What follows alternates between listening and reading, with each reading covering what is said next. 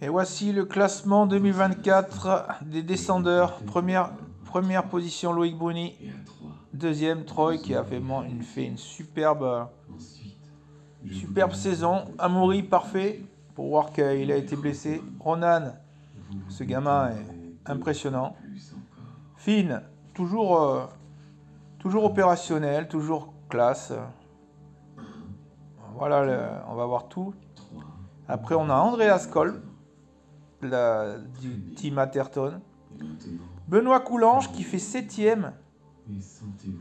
Ah, qui est toujours à deux doigts de, de faire beaucoup mieux et qui est très bon. Lucas Cho, 8ème. Dakota. On a deux Américains qui sont 8 et 9. Voilà. Mais déjà, dans le top 10, on a 1, 2, 3, 4 Français. Et dans le top 20, 5, 6. Ah, Thibaut qui s'est blessé. On a 6 Français dans le top 20. On a 6 mecs dans les 20 meilleurs pilotes du monde. Après Thomas Stack, 23e. On va regarder les Français. Hein. Nathan Ponvian, 35e. Simon Chaplet, 43. Antoine Piron, 44. Pas mal, belle saison. Mathéo Iniguez, 47. Dylan, 51. Antoine Vidal, 52. Thibault Lali, le super Thibault Lali qu'on aime beaucoup. Regardez ses vidéos, c'est.